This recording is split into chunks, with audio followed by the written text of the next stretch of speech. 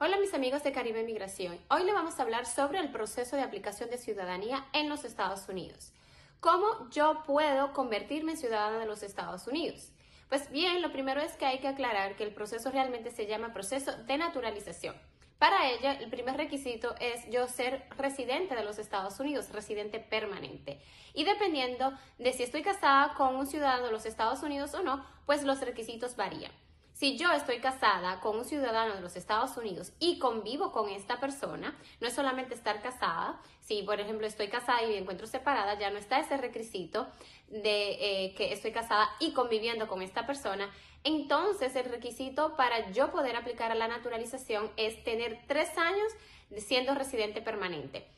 Sin embargo, si no estoy casada con un ciudadano de los Estados Unidos, entonces tengo que esperar cinco años para poder yo calificar y aplicar a la ciudadanía. ¿Qué otros requisitos también se requieren? Pues el requisito de la presencia física y continua en los Estados Unidos.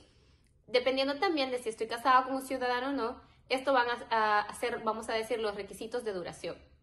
Si no estoy casada con un ciudadano, al menos de estos cinco años, 2.5 debo de haberlo eh, residido o estar viviendo dentro de los Estados Unidos. Y si estoy casada con un ciudadano americano, el requisito es 1.5 años de estos tres años que yo les mencioné. necesita tener la presencia física y también no haber roto lo que se considera pues esta residencia continua, aparte de una residencia física en los Estados Unidos.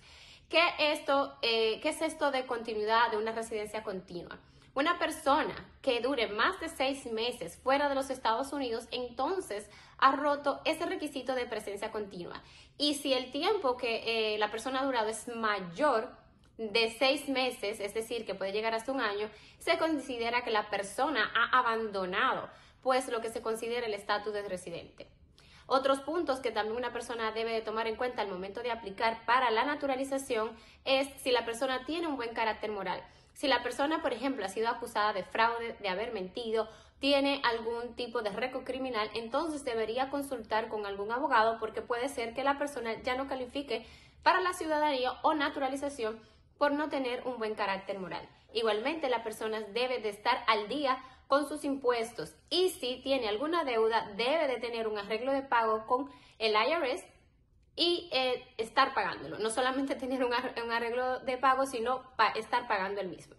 Bueno, mis amigos, esto ha sido todo por el día de hoy. Siempre recuerden que si tienen alguna pregunta sobre este u otro tema, puedes contactarte conmigo. Soy tu abogada, Jennifer Meléndez.